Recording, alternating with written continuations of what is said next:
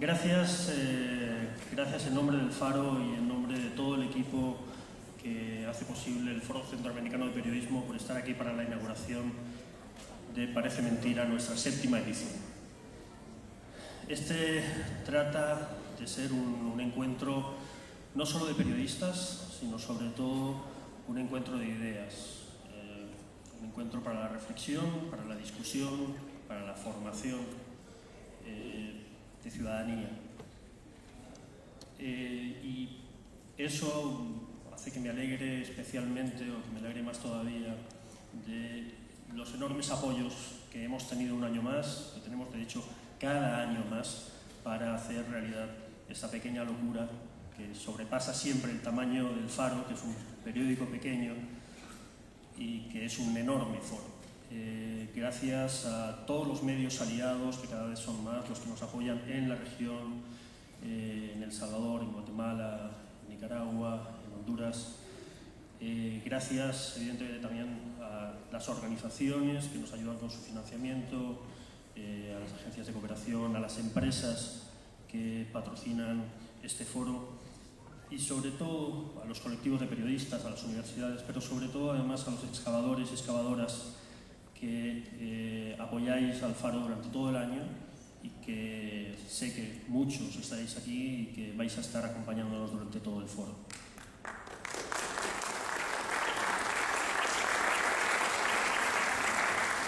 Este año eh, hemos querido que de una manera bastante evidente hubiera un eje que atravesara todo, toda la agenda del Foro Centroamericano de Periodismo y es la conmemoración de los 25 años de los Acuerdos de Paz del Salvador. Pero con una mirada que va muchísimo más allá, o queremos que vaya mucho más allá de los actos protocolarios y de la recuperación de la simbología del pasado. Sobre todo lo que nos parece importante como periódico es que como, como, sociedad, y esto creo que además va más allá de las fronteras del Salvador, porque los acuerdos del Salvador fueron importantes no solo para nuestro país, fueron importantes para la región y fueron importantes internacionalmente como referente de un modelo, como primer modelo de, de experimentación de la búsqueda de solución a conflictos por la vía dialogada que ha ido evolucionando, un modelo que ha ido evolucionando y que, y que se ha ido, evidentemente, quiero pensar, eh, perfeccionando. Eh, pero sobre todo desde El Salvador queremos que, queremos que eh, todo el año, pero que además este foro sea un balance de 25 años, que sea un espacio para discutir sobre qué hemos hecho con esos acuerdos, qué hemos hecho como sociedad, ser autocríticos, en qué hemos fallado, qué tenemos que corregir y cómo podemos replantearnos el rumbo para pensar en los próximos 25, tal vez. Para eso hemos organizado toda una serie de conferencias en universidades, eh, mesas que se salen de los temas que habitualmente trata el periódico, como por ejemplo la esperanza, un elemento central en la construcción de cualquier sociedad, o un acercamiento, por ejemplo, también a los más recientes acuerdos dialogados del continente, los, acuerdos de, de, paz en Colombia. Eh, pero en mitad del arranque de este foro, que queremos, insisto, que sea de reflexión, de discusión, de construcción, de ilusión, eh, una noticia brutal nos ha atravesado y ha sido el asesinato hoy a mediodía en Culiacán del periodista mexicano Javier Valdés. Javier Valdés, fundador de Río 12, es, era amigo de muchos de los periodistas que ya están en San Salvador y que van a estar durante toda esta semana en el foro.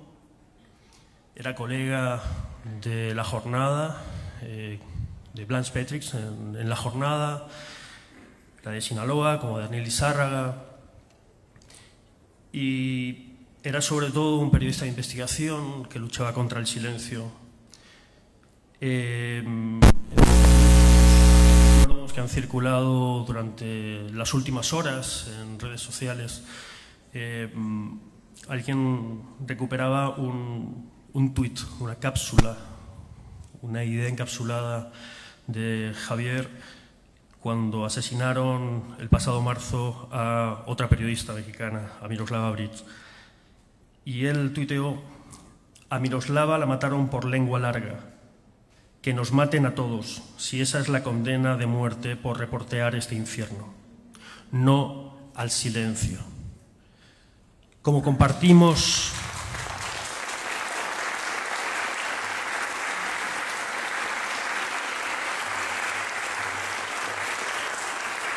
como compartimos ese no al silencio y en comunicación con grandes amigos que están haciendo periodismo en México, queremos eh, dedicar unas palabras de esta inauguración a, Javier Valdés eh, y al mensaje y a la memoria de los periodistas que están luchando ahora mismo en México contra la censura que, que intenta imponer la violencia. Carlos.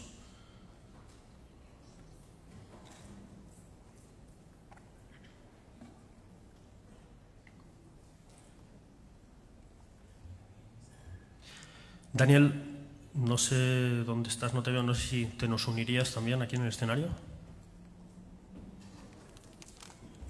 No sé si ha llegado Daniel Sarra.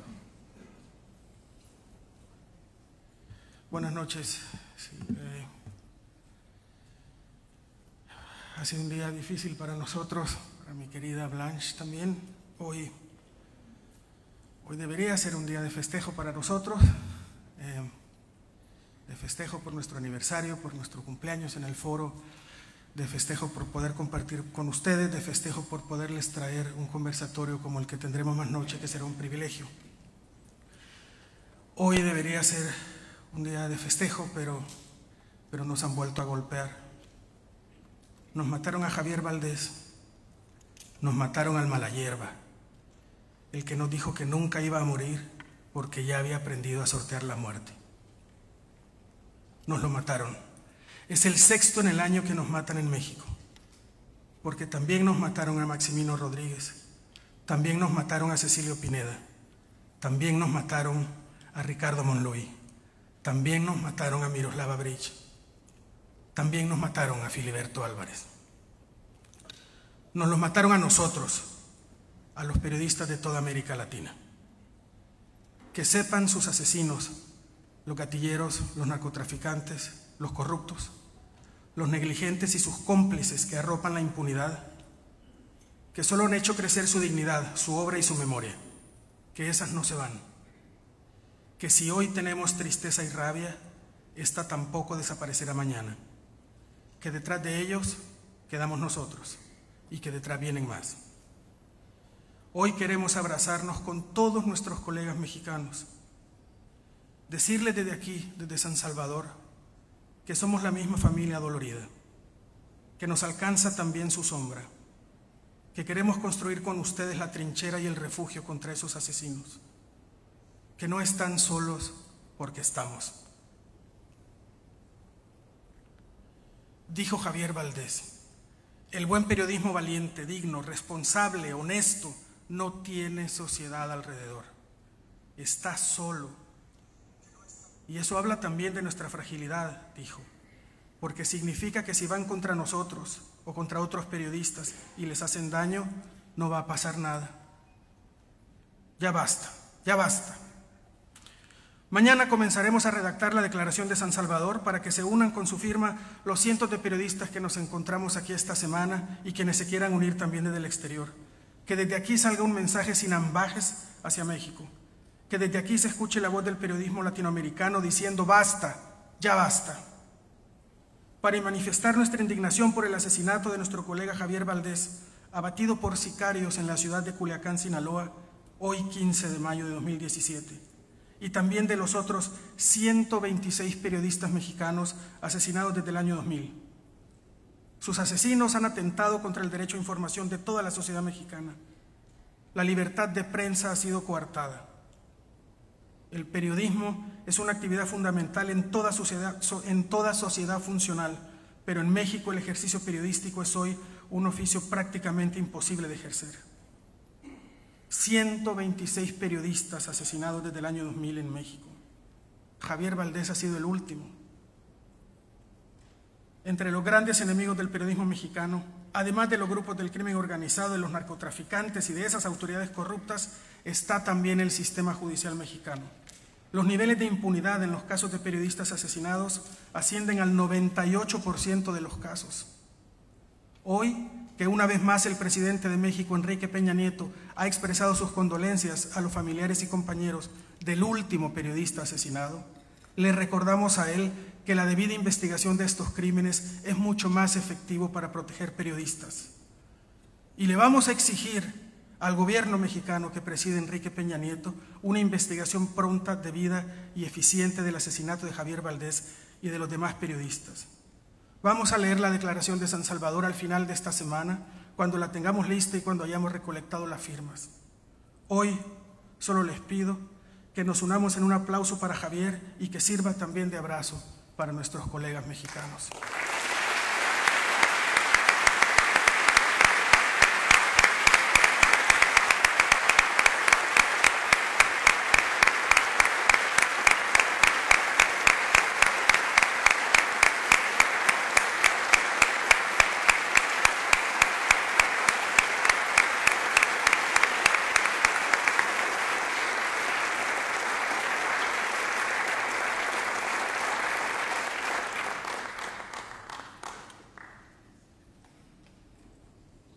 La libertad de expresión es una de uno de los legados.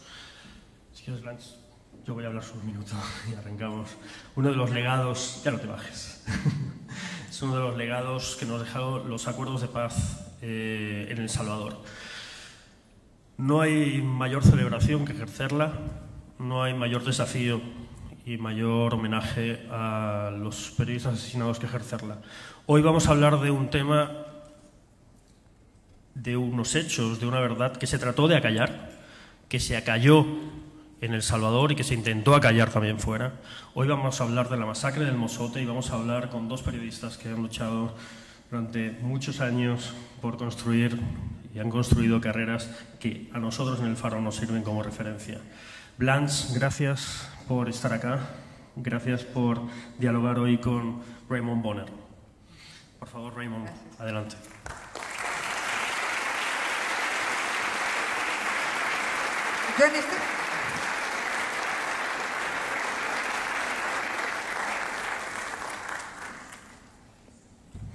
Blanche Petek, fundadora de La Jornada, es una de las periodistas que antes de que muchos otros llegaran ya había recorrido y trabajado contando buena parte de los conflictos centroamericanos.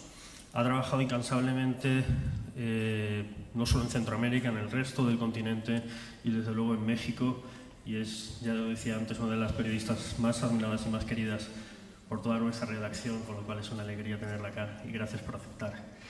Raymond Bonner, eh, ha tenido también una carrera prolongadísima por, lo decía antes, que por medio mundo. Decía que ya no recuerda el español que aprendió a principios de los 80 en El Salvador, pero que no está seguro tampoco de recordar bien el inglés porque ha pasado por medio planeta y se ha dejado contagiar por múltiples idiomas. Eh, contó para New Yorker simultáneamente con Alma Guillermo Prieto, que lo hizo para The Washington Post, la masacre del Mozote. Esa masacre que en El Salvador no se quiso contar y que aún hoy, aún hoy, literalmente, hay quien niega. Eh, la memoria y la recuperación de la memoria y el grito de la memoria cuando trata de ser negada es otra forma de combatir el silencio. Por eso nos parece, como siempre, en el Faro tan importante tener este tema en nuestra inauguración. Gracias, Ray, gracias, Blanche, por aceptar y os dejo el escenario y todo el tiempo. Gracias. Muchas gracias, Ray. Hello.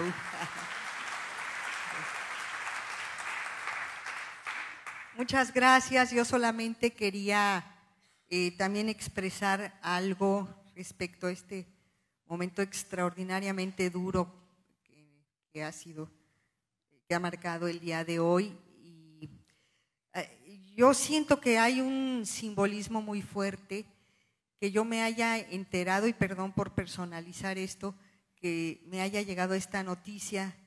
Estoy en el.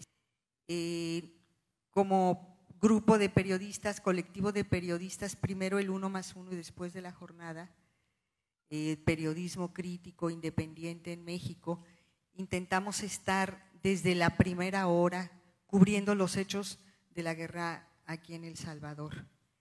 Y fue precisamente un corresponsal nuestro en, en ese entonces del uno más uno, un mexicano, un chihuahuense, llamado Ignacio Rodríguez Terrazas, el primer periodista extranjero muerto, asesinado en San Salvador en 1980. También en su memoria van estas palabras. Eh, no hace ni dos meses que mataron a otra corresponsal de la jornada en Chihuahua, Miroslava Brich. En el lapso de dos meses, para un periódico como La Jornada, que intenta al mismo tiempo contar lo que pasa y rescatar la memoria, la pérdida de dos de sus mejores periodistas es un golpe inanerrable y yo estoy muy agradecida porque me he sentido muy arropada por mis queridos colegas y amigos salvadoreños. Muchísimas gracias, Carlos y José.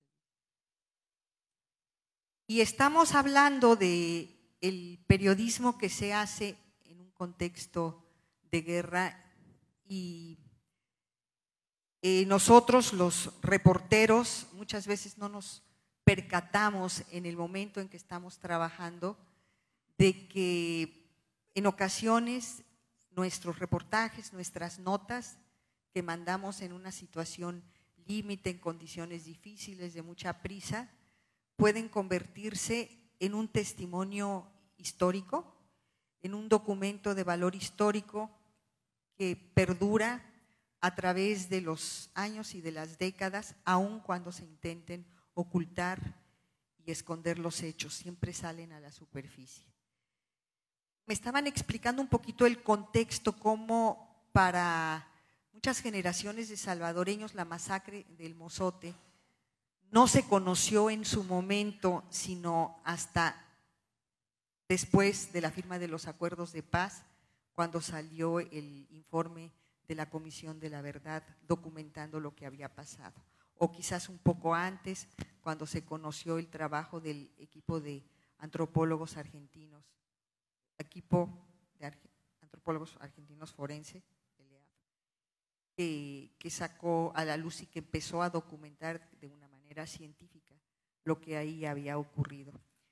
Sin embargo, para los periodistas de aquella generación, de aquellos tiempos, que estábamos interesados en el curso de las cosas en El Salvador y que empezábamos también a cubrir este conflicto, tuvimos eh, la versión de primera mano en las notas de Raymond Bonner en el New York Times, la versión de Alma Guillermo Prieto en el Washington Post, las extraordinarias y dolorosas fotografías de Susan por eso yo le decía a Raymond, yo no lo conocía sino hasta hoy, pero en aquellos años él fue mi héroe, porque contó justamente lo que no se estaba contando, un hecho tan grave y que quizás hoy en día siga siendo una masacre que no ha sido superada en dimensiones a pesar de lo sangrienta que ha sido la historia reciente de nuestros países en América Latina. Eh, yo les decía, el trabajo de Rey fue un documento, es hoy en día un documento histórico. Si les parece, voy a plantearles las preguntas en inglés, quizás para facilitar un poquito el diálogo, aprovechando de que tienen interpretación simultánea. Uh, but when you arrived to El Salvador and you decided to go to El Mozote to find out what was happening, You've heard rumors and some versions about a massacre. By then, you didn't imagine that your work, the story you were about to write, was going to be something with a, such an historical importance. What were you thinking when you went to El Mozote, and how did you get there? Thank you. And first, my apologies for not speaking Spanish. It's been more years than I want to remember, like 35. And since then, I've been all around the world Poland, Indonesia, Eastern Europe, you name it. And I'm afraid I've lost. I'm not even sure my English is that good anymore. And before we start, I'd like to say a word about our colleague Javier. This is happening all too often. And those of you who are journalists or want to be journalists, I encourage you to use a moment like this to rededicate yourselves to the work that you do. And I remember it was about 10 days ago at Columbia University where I do some teaching journalism school. A Mexican student in the class, there were three women who spoke on International Press Day, and they spoke for three minutes. And Mexican student spoke about all of her friends and colleagues who had been killed. She said this made her more than ever want to go back in, to Mexico and work as a journalist in memory of her friends and colleagues who had been killed. And in a moment like this, I would urge you to rededicate yourselves in the memory of Javier. As for when I went into El Mozote, I was a young journalist. I wasn't young, but I was young as a journalist. It was, um, I'd been in covering El Salvador for about two years. I'd been a lawyer and then dropped out of being a lawyer and became a journalist. And as it was, I arrived in El Salvador on a Sunday. The nuns were killed on Tuesday, and the rest, as they say, is history. Started writing for the New York Times, and I was in and out of El Salvador and then, you know, I, it's a long time ago. You know, we're talking 30 plus years. I don't think I had heard rumors of the massacre. I think what it was look, this was the biggest story of the time, biggest American foreign policy story. For those of you who are, weren't even born at that time, many of you probably, and it's hard to imagine uh, Central America was the foreign policy issue, as big as Syria and Iraq and the Middle East are today. This was the hotspot of American foreign policy.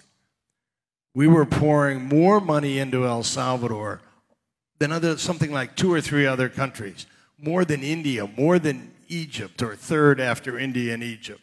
The American embassy was bigger than the embassy in New Delhi. And if you're going to cover that story, we every journalist here wanted to go in with the guerrillas, wanted to go in with the FMLN.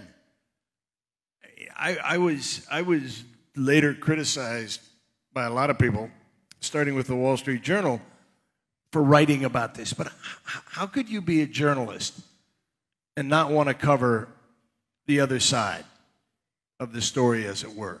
Now, let me tell you, it was a lot different than, than it is today.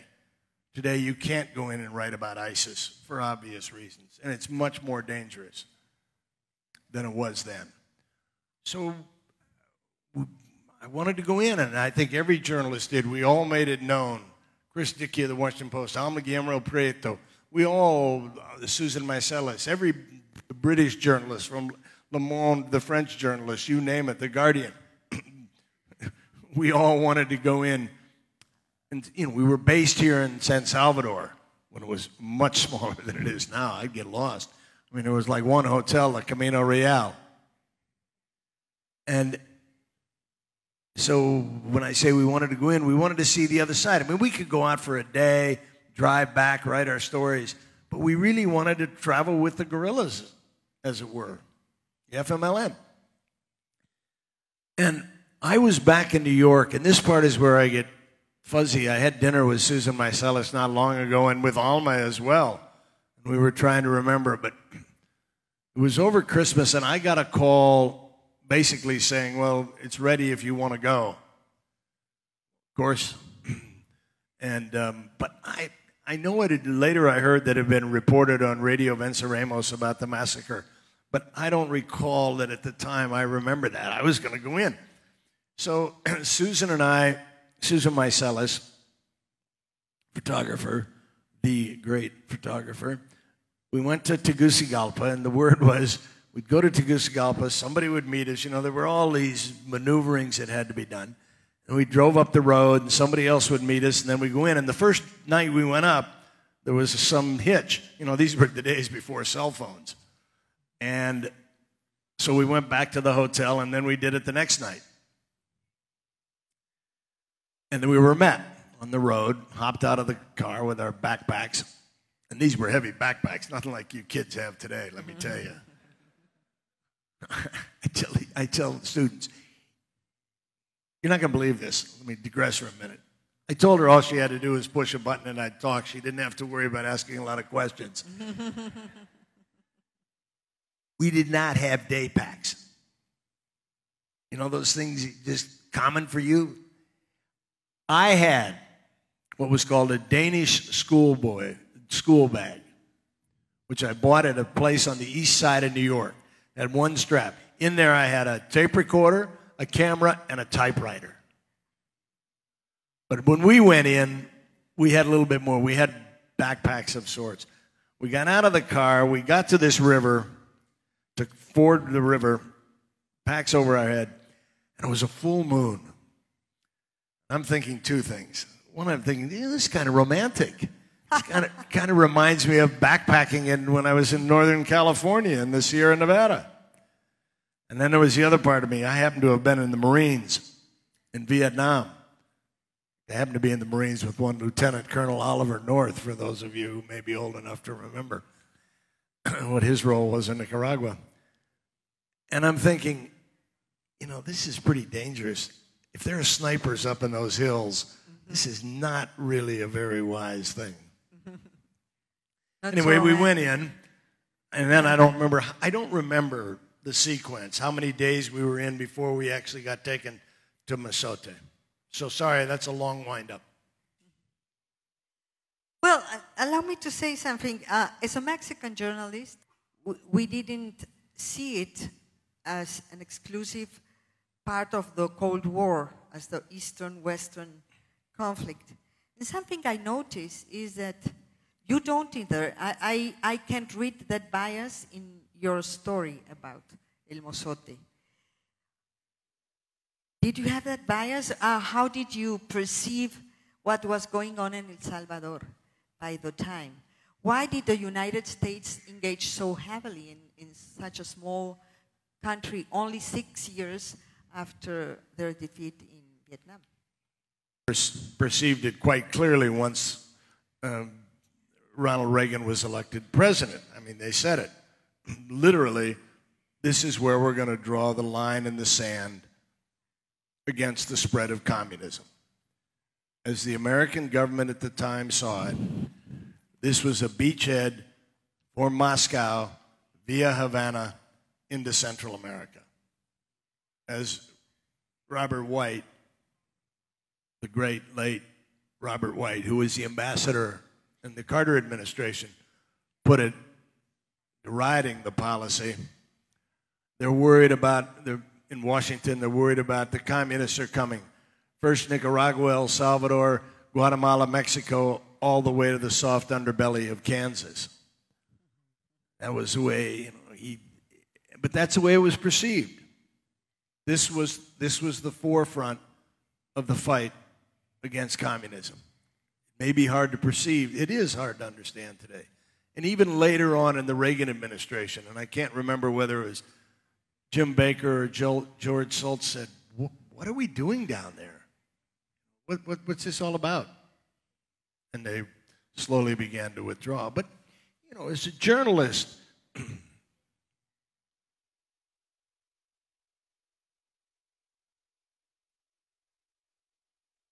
I'm not a reporter for the American government. I'm not a reporter against the American government. But you know, we're not we're not Pravda. We're not an arm of the government. It's because I, I remember the way you phrased it. You, you said, you mentioned the leftist guerrillas. Uh, other journalists uh, from American media would say the Soviet backed guerrillas or Cuban-backed guerrillas or communist guerrillas. I, there, there is like slight bias or a slight detail in the way you, you word it. Sure. I mean, I, I, I, I guess there is a, a meaning, there is a reason in your political formation or the way you were looking at things at the time. I don't remember. I mean, I could put that in a more contemporaneous context if you want, if you will, but, and then I'll come back to it. I mean, I think you have to be careful of labels. Are they guerrillas? I mean, I can remember, you know, again, you're dredging up things from the past. Do you call them revolutionaries? Do you call them guerrillas? Insurgents? When does it become, become a civil war? Subversives. Huh? Subversives. Subversives. Um, you know, the labels make a difference. Sometimes they say something. It's always dangerous. Is it a right wing government? Is it, is it a, a leftist government? You have to be careful. I, I tell you, it's been much more prevalent post 9 11 when talking about Al Qaeda. I was in, in uh, Indonesia after 9 11 for about five, six years. And anytime there'd be a terrorist attack, and there were several in Indonesia and elsewhere, they'd write Abu Sayyaf, which was one of the groups, comma, linked to Al Qaeda, comma. You know, journalists did this because that was a way to get their stories prominence in the paper. It drove me crazy. Because what does linked to Al Qaeda mean? That they danced arm in arm with Osama bin Laden? That they pledged allegiance? And it's the same thing back, back then. I mean, these are charged. with. Yes, the Soviet probably put in arms and put in some support of some kind. Yes, Cuba did, but you have to be very, very, very caref- careful with labels. I mean, I saw it, I probably saw it, I saw it as a, I- saw it, I think, as Bob White saw it. Um, in, in an amazing telegram that Ambassador White sent to Washington, and unfortunately, it wasn't declassified until many, many, many years later. It's about 34 pages long. And I would urge you, if you want to understand what was going on in El Salvador back then, to read it. He said there'd be a revolution here even if there weren't for Cuba. The rich, for too long, backed by the military, and the poor have been kept poor. And there would be a revolution even without Cuba. You're right. You you you go beyond labels and uh, going back to the uh, pure journalist work. You were able just to go there, listen to the survivors, uh, see the scene, report the facts, and write your story only based in that. Uh, and then after that, after the story was published, um, US officials and Salvadorian officials said it was not true. So there, there is a conflict also in the narratives. What narrative is right and which is wrong? How do journalists um, go through this and, um, a ver, lo voy a decir en español, cómo hacen valer la verdad de un trabajo honesto como el, el tuyo? Sorry, I. No, no, no. Sorry, I don't.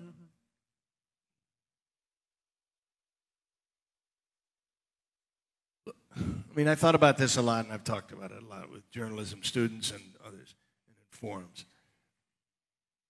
I saw the bodies. I saw El Mozote. And I talked to survivors. Now, did I know for sure what happened? No, of course not. I wasn't there. And for those of you who may be lawyers or know something about the American legal system, or the you know, British legal system, we have something called to convict somebody, you have to prove beyond a reasonable doubt.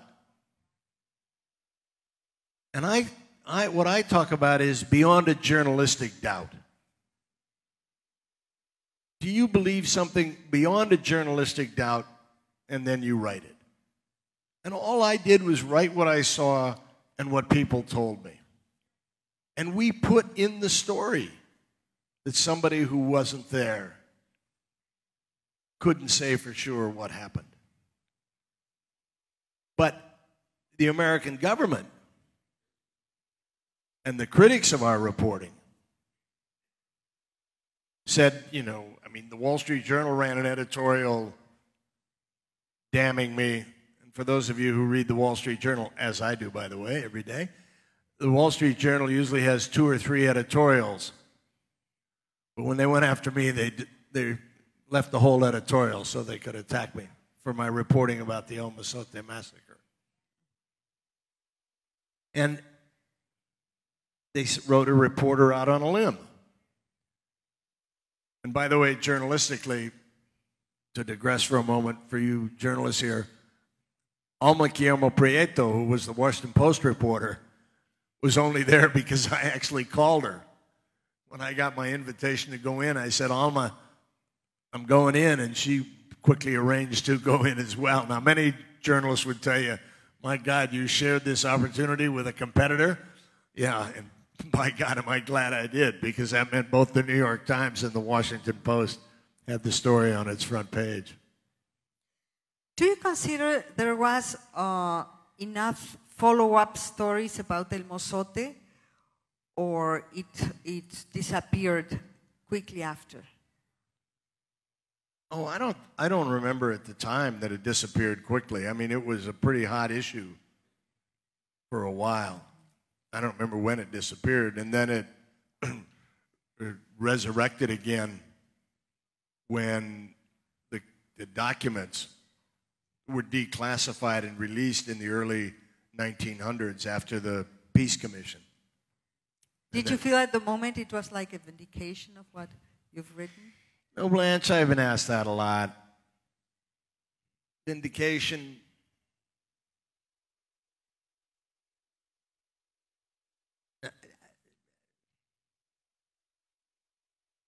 It's not something I think about.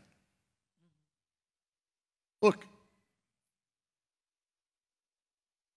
do the kind of reporting that I do, you do investigative reporting, you do some hard hitting reporting, and it's, you got to take your lumps. You know, I didn't particularly run around saying I'm vindicated, I'm vindicated. I had moved on by then, was writing my gosh, by then I'd already been in Africa and was probably about to go to Eastern Europe. You know, I think for, I remember saying that once at a conference, asked the same question Do you feel vindicated? Gave a similar answer. And a reporter in the back said, Well, it may not have meant that much for you, but it means a lot for other investigative reporters.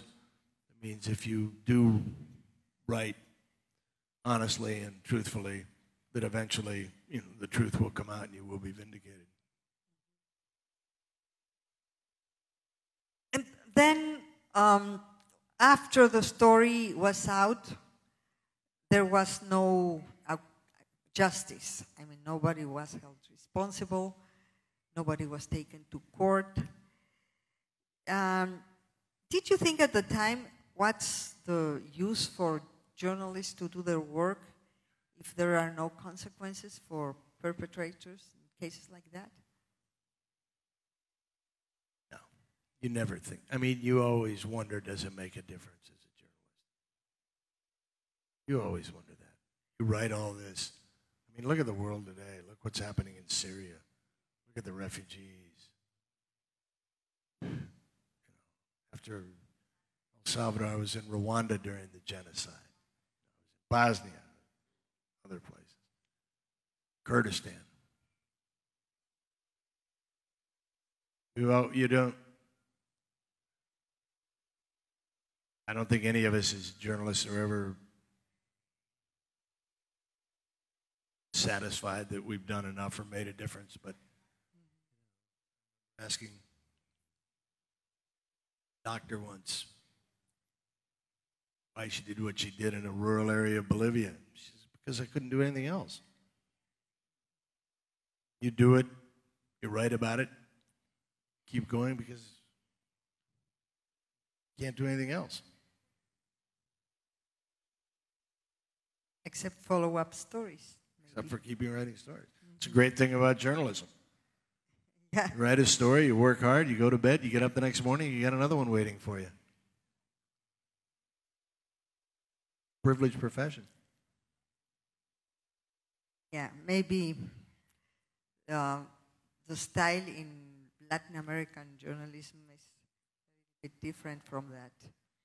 You've got some very good Latin American journalists. I mean, you look at the very correct. I mean, and I, this isn't a plug because they're sponsoring this. I mean, look at El Faro. Look at the work they do. It's amazing.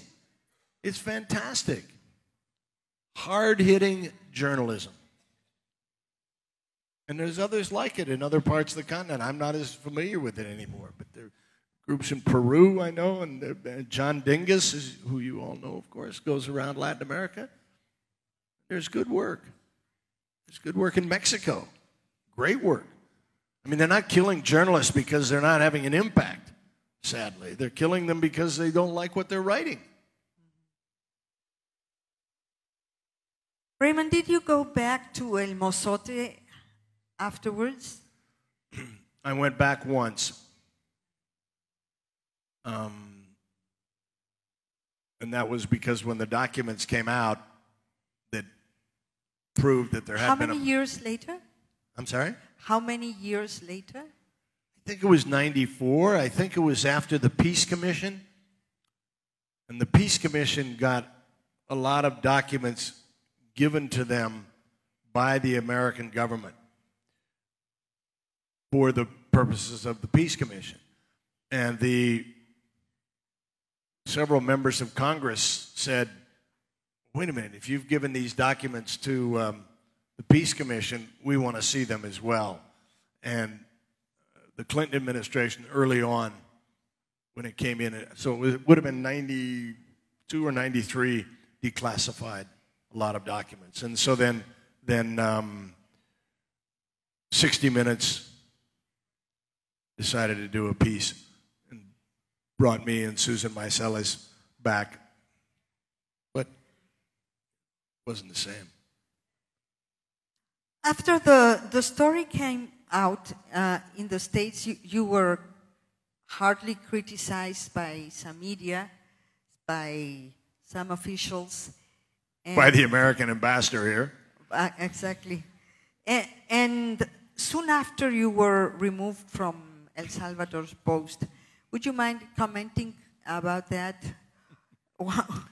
What, happened, really? She, yeah. it was your She, she warned me she was going to ask this. Not, not that I'm surprised. Um, it's it, look, it's it's much more complicated than that. At the time, the New York Times didn't have a bureau in Central America, and so I was just coming and going. At the same time, there's no question that. Uh, in those times and in those times, small t and capital T, you know, my reporting wasn't viewed very favorably. I was considered by many as being, I mean, I was called a communist by many people, and if, when they couldn't make that stick, because I read the stock market every day, and they decided, well, they're not a very good Marxist, they decided to call me an adversary journalist an advocacy journalist. And um, the New York Times, I was in Nicaragua actually when I got the call saying, We want you to come back. Basically, said, the editor who called me said, You better hurry before it gets worse. So that, you know, it wasn't, somebody just wrote on, there's a New York Times alumni website on Facebook And some, somebody just wrote, actually today, I just read it, about an incident in the 1980s when the then executive editor of the New York Times was very clear. He thought, who was the guy that was executive editor when I was either pushed or jumped, um, thought the paper was moving too far to the left, was too liberal, thought we were all a bunch of liberal. We were about to deliver Central America to the communists. So, you know, it wasn't, I don't think many people would think it was the New York Times' best moment. Well, some people think it was. No, but I mean, when they recalled me, they don't think it was their best moment. yeah. But, you know, it goes with the territory. Still, um, uh, as we said before, uh, your story and Guille Alma's story about El Mozote is a very important document for understanding El Salvador's history. It happened 35 years ago, and it's a case that, whether it's very well known or not, it's still alive. Um, as we learned uh, when the Supreme Court here in El Salvador abolished the amnesty law that protected perpetrators during the war, uh, the case was reopened. What does that mean to you? I mean, I always like to see justice done. I think it's good you can run, but you can't hide. And I think it's good that groups like CPJ in California, you know, the Committee um, Center for, now lost the name of it, the, uh, just CJA, Center for Justice and Accountability. They've pursued a lot of these cases. Pursuing the cases of the killing of the Jesuit priests. Um, and uh, I think it's good. I think the International Criminal Court in The Hague is something that is good, very good, and I'm sad that the United States doesn't give it more support. But if you can bring justice to people who were involved in, in you know, in El Mozote, and then Archbishop Romero's assassination, as well as assassination, the killing of tens of thousands of Salvadorans, that's a message. It's not revenge, it's a message. Can't do this with impunity like they're doing in Mexico today. They're killing journalists with impunity. And people have to be held accountable. Um, we were told a few moments ago how um, this story of El Mozote is not fully understood by Salvadorian society, and there is still a denial that actually a massacre happened, happened there. Uh, what do you think it's needed to uh, validate all the data, all the information that came out first with your story? And later on with all the documents, the work of the forensic anthropologists, all, all the facts that are there in the archives and the press and elsewhere. Anybody who still denies that there was a massacre in El Mozote, there is no amount of evidence that you can show him or her if they're not convinced now that's going to change it. Some people, no matter what happens, will continue to deny. I mean, you know, the earth is flat. Uh, there was a massacre. It was committed by Salvadoran government forces, which were backed by the United States, not at that particular moment. I'm not saying the United States had a role in the massacre even American officials who were in power at the time and denied it at the time have admitted it, have acknowledged it. So, I mean, it's, it's uh, Yes, but uh, the, the story, the actual story of El Mozote has still to struggle to to come to get out in the light and to be fully understood. What happens if it doesn't? If this doesn't happen? For instance, uh, for young journalists, there is also uh, un reto, uh, like a, reto? a challenge. How do they revisit this story? How do they report on that? How do they invest, do research and journalism uh, on El Mozote's history and El Mozote's silence Well, on a what happened there? young American journalist here right now who's doing that. Uh, very, very good journalist. Um,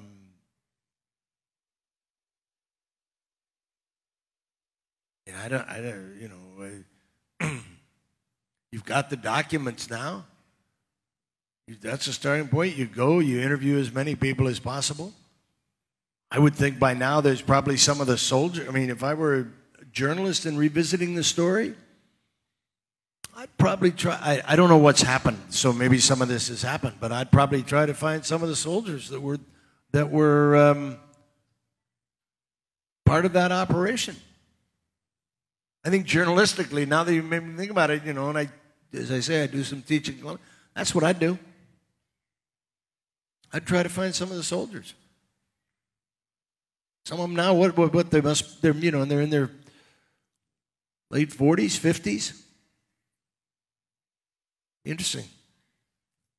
And if you want a journalism lesson,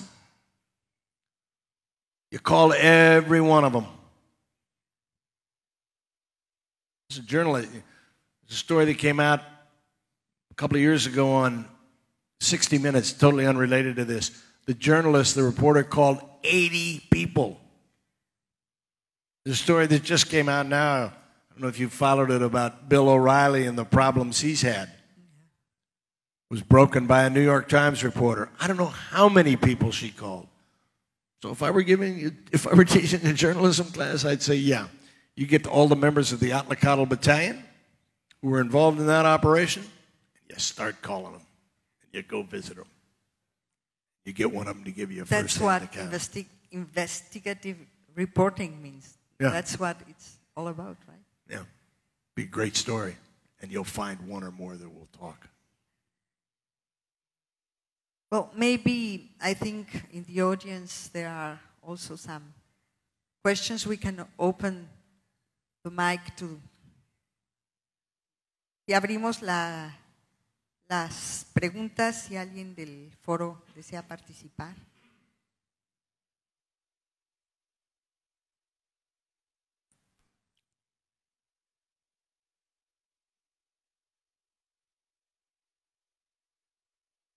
Veo muchísimas manos que se levantan.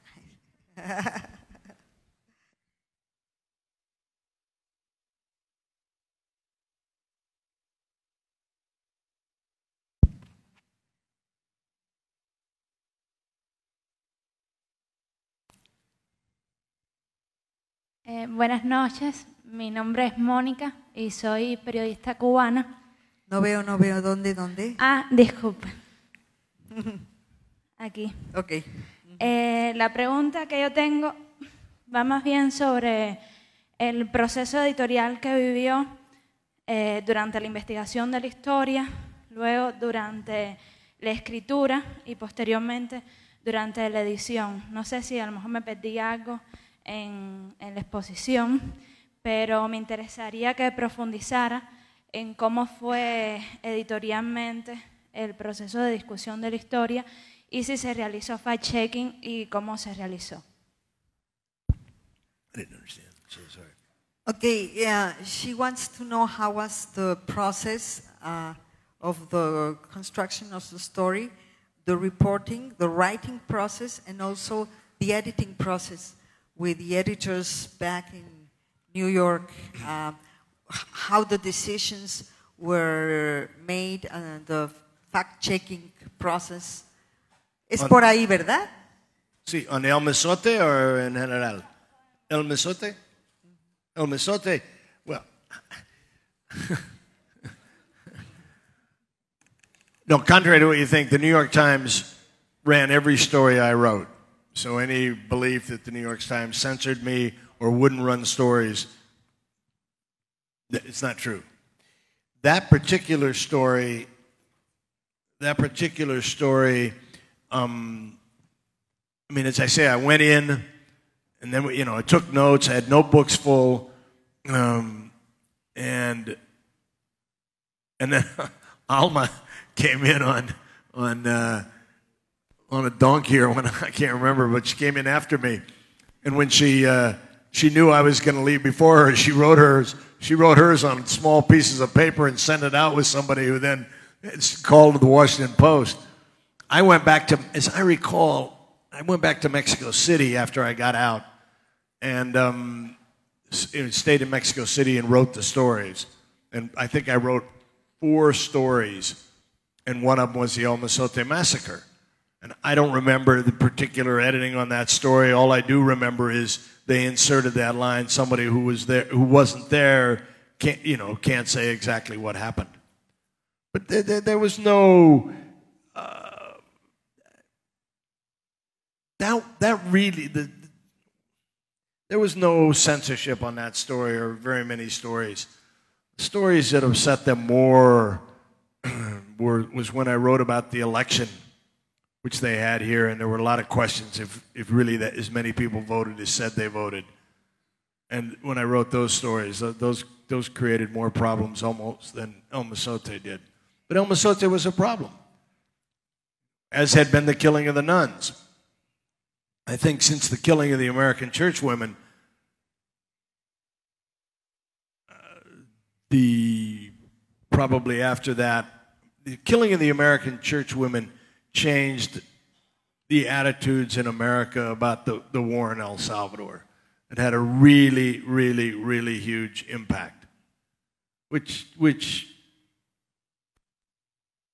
doesn't necessarily speak well because 10,000 Salvadorans had been killed that year. But it wasn't until they killed the American church women that people in the United States and in Washington began to pay attention. And then I think, I mean, you know, you had 10 years of civil war, but it took an El Mozote or killing of the nuns or the killing of the Jesuits, you know, many years later before America really paid attention, and Americans and journalists.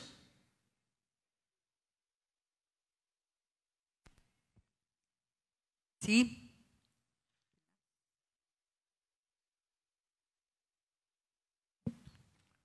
Well, I guess um, my question is more about you as a person rather than a journalist.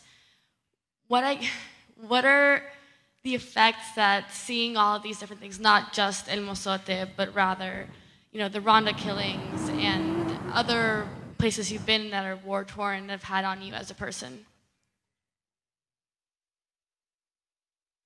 What's the question? well, I guess if you want to narrow it down, just in general, um, how did you feel after you saw the terror that got out of the Mozote? Look,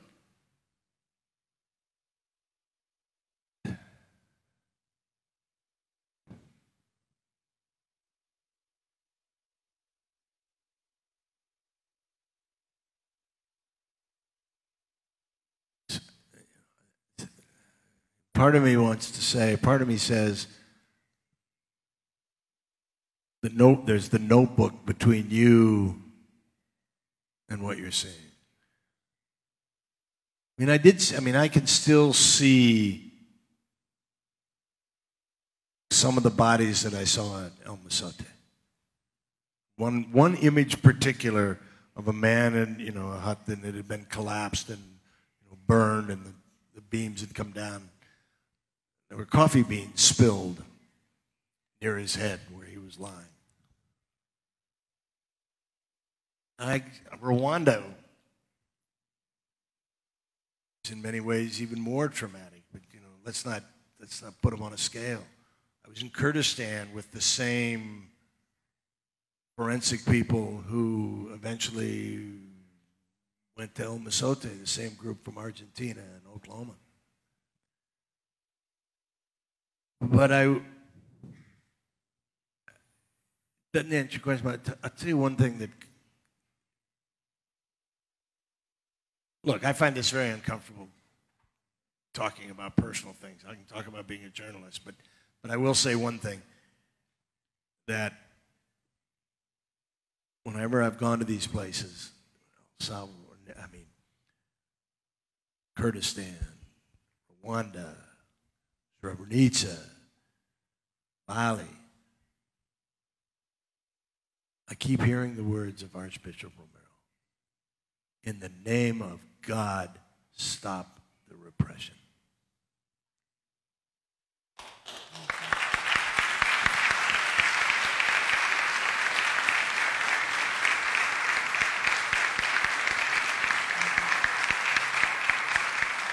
I, I believe uh, this question le- leads to some something that we journalists face uh, from time to time uh, when, when you report on very hard things. You have to put your feelings aside and just do your work. And this is how this is how things are done. There is no other way, no? Isn't it? okay, another question. Otra pregunta por ahí. Es que no veo bien. Um, uh, hello. I have, I have a question on the topic of alternative facts, you know, because alternative facts are not new. And in those days, alternative facts actually were some of the journalists that were the ones who went to the field and saw what was happening. But the, the institutional trend was to hide, to hide, to hide everything and say, no, that's, that's not true. He's lying. Um, but in the present, we have, we have tools, we have, we have the social media, we have a, a other media and uh, we keep hearing some voices that uh, go with the flow. So um, I just want to hear your uh, opinion on that. I mean, because alternative facts have changed now. What's, what's, what do you want to hear my opinion on? What's the question? Because uh, what would you say to the journal, to the people in journalism that that uh, find too hard to to go against the flow of institutional trend and too hard to go against the flow as a journalist? One, if you want to be a journal, if you want to be popular, don't be a journalist. Our, our, True jo- our, our, you know, we're not out there to be liked.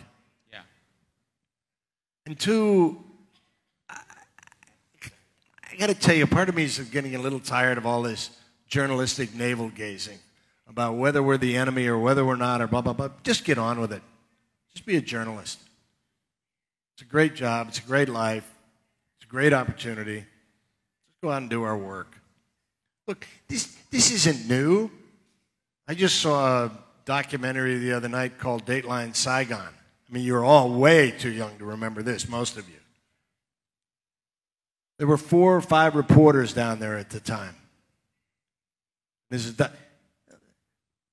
Kennedy wanted to remove David Halberstam.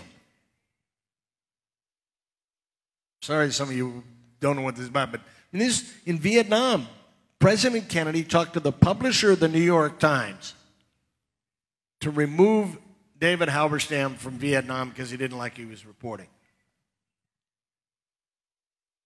You know, it, it, it I want to be very careful here because I don't feel comfortable saying this, but Aryeh Neier said it in a public panel. Aryeh Neier was a great human rights, started Human Rights Watch. Said this in a public panel about a month or two ago. So it's only because he said it that I'm going to say this. He said Halberstam, and then what they did to me. The government never, never likes what we do. They're always, you know, uh, but, you know, we don't do this to be popular. I have a colleague at the New York Times that says our obligation is to put on the front page of the New York Times what the government doesn't want to see there. I can't help thinking about Donald Trump and the fake news. Every time Donald Trump says it's a failing New York Times, his subscriptions go up. Look, don't, don't, don't, don't, don't, don't, I don't mean to make light of this. We're living in a very, very perilous times. And as I said earlier, you won't see, what can the United States say about what's happening to journalists in Mexico? The United States has lost the moral authority to speak about this. It's very serious. I don't, I don't, I don't mean to make light of it, but I think, you know, our job, we keep doing our job and just keep doing it and don't, you know, a little bit flip, but when, when Trump says he's going to cancel press conferences, press briefings, daily press briefings, I mean, there's part of me that says, great. It'll make journalists have to go out and really work hard and dig, and they're not going to just take handouts, you know, from the podium. Ray, uh, I'm just curious. In the aftermath, has did anybody from any of your accusers from the State Department, the Wall Street Journal, wherever, ever apologize to you and acknowledge that you were right and they were wrong? No. No, they, they haven't, and, and frankly, I don't expect them to. No. I mean, not only haven't they apologized, but the Wall Street Journal, after these uh, articles came out, the, after the 60 Minute piece, um, after the 60 Minutes piece came out, and the documents, which didn't quote unquote vindicate me and did show, even they, they wrote it, still wrote an editorial against me, saying, you know, we didn't fire Ray Bonner, Abe Rosenthal did. No, I don't expect them to apologize. Just Sorry, I- to, I have- ju- just to add, what you were saying about Kennedy and, and David Halberstam, and if there are people who want to know more about that, because it was very important, there's a very fine book called Once Upon a Distant War by William Prochnau that has a lot about Halberstam there. That'll go into that a lot more. Sorry, I have a, one last question. Over here. Hi, good night. Hi. You have said you were a very young journalist by that time, and I would like to know if you would have done something different if you had the opportunity nowadays. That is a very, very, very good question. And I'll tell you why. I was not young, by the way. I was actually, you said that. I did not become a journalist till I was older than you are, I can tell you. I had been a lawyer. I, I, didn't, I didn't become a journalist until I was 40. But I was young in that I had no journalistic experience. And this is a question I've raised, and I raise it with journalism students and I raise it with myself. Would I have reported the same way? I don't I think there's some naivete that goes with it. I mean, I people said to me later, "Oh, you can say anything you want to in the New York Times, you just have to know how to say it." And I was thinking, well, wait a minute. Why do I have to figure out how to say it? Why can't I? I mean, I know this sounds terribly uh, self serving or something. I'm, I'm, naive or, or disingenuous. I'm not. I'm serious. I thought, why do I have to figure out how to say it? Why can't I just write what happened? I mean, I think being inexperienced, in some ways, I, I, I didn't find myself thinking, there was no self censorship. I didn't find myself thinking, well, I'm not sure I can write it this way because, I mean, Chris Dickey, when he reviewed my book, said that I was writing all these things, you know, knowing they would land on the congressman's, we still got newspapers, desk every morning. I didn't know that. I was, I was just, I was just, I know this sounds disingenuous when I'm telling you it's the truth.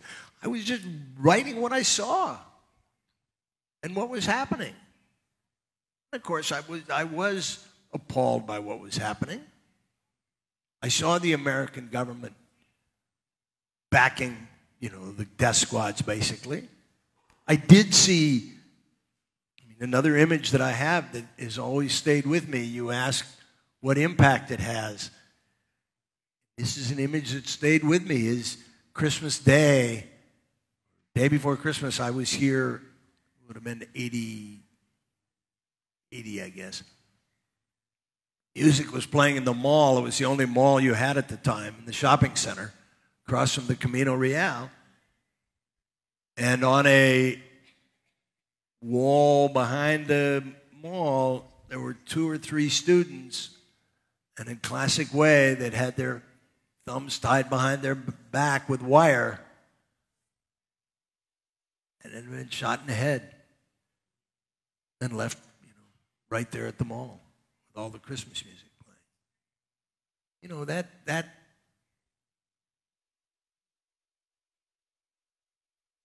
Naturally, I was going to write that. I, you know, I think, I think, and I also tell you something else. When I started out with the New York Times, when I first wrote my first, I took a bus from Tegucigalpa to San Salvador. I didn't fly. I didn't stay. And when I stayed in the Camino Real at first, I was sleeping on somebody's floor. I mean, I think you're better as a journalist when you start out. So, would I report it any differently? I'm afraid that I might, but it wouldn't be for the. It wouldn't be better. I'm afraid I might engage in some self censorship.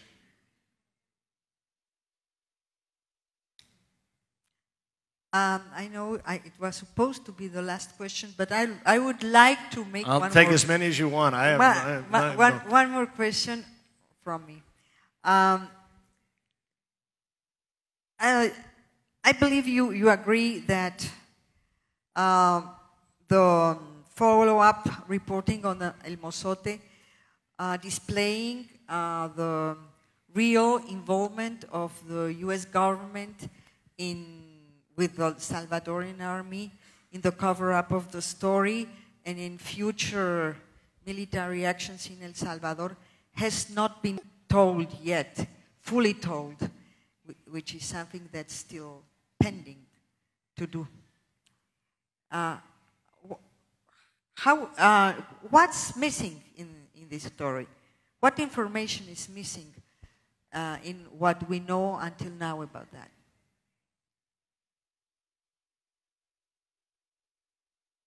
I don't know that a lot's missing.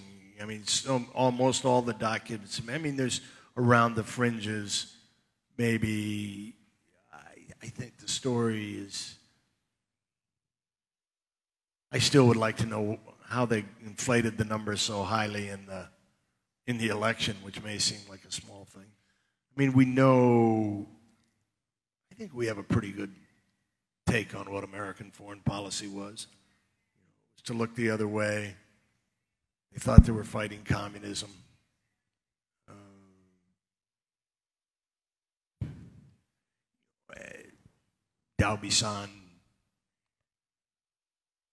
was a pariah by Ambassador White, and then he was welcomed back by. Everything changed, as you know, it's in it's in it's in the book. I'm not trying to sell the book, but I mean, everything changed in December in November 1980 after Reagan was elected. You know, there were fireworks here. People were ecstatic, and they believed that the that you know they no longer had to worry about human rights. They thought Carter was was too soft on human rights cared too much about human rights and therefore didn't support the Salvadoran government and the Salvadoran military.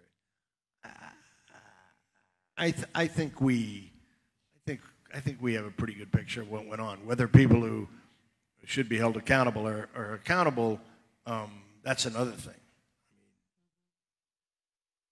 And that's what's missing. Hmm? And that's what's missing. Yeah, but that's not the story that needs. That's that's not for journalists. I mean, that's that's for that's not the. I mean, holding people accountable. It's not for us to prosecute. Exactly. That's true. Um, concluyendo, voy a, a decirlo en español. Sí. Yo creo que lo que lo que hemos escuchado de Raymond Bonner eh, sobre cómo se construyó, co- cómo llegó él, cómo contó la historia del mozote, lo que está pendiente todavía eh, y la forma como este tema sigue vivo eh, y con una serie de tareas todavía que, cum- que- que cumplirse eh, es un reto para las nuevas generaciones de periodistas. Un capítulo que no se puede cerrar así, inconcluso, que va a seguir abierto mientras no se continúe con la investigación y pues como, como son estas historias, mientras no haya verdad y justicia, las heridas no se cierran, los temas siguen abiertos. El mozote, 35 años después, eh, sigue siendo un tema pendiente. A lo mejor estas generaciones, como la mía, la de Raymond, la muñeca, muchos otros colegas, este, ya no nos toca contarlo, pero es la tarea, el reto que tienen los nuevos periodistas, sobre todo los periodistas de El Salvador. Y el Faro nos demuestra día a día que hay ganas y hay talento y hay vocación para, para hacerlo. Bueno, pues esta sería la conclusión, agradeciendo muchísimo la oportunidad para hacer esta reflexión a los compañeros fareros. Thank you.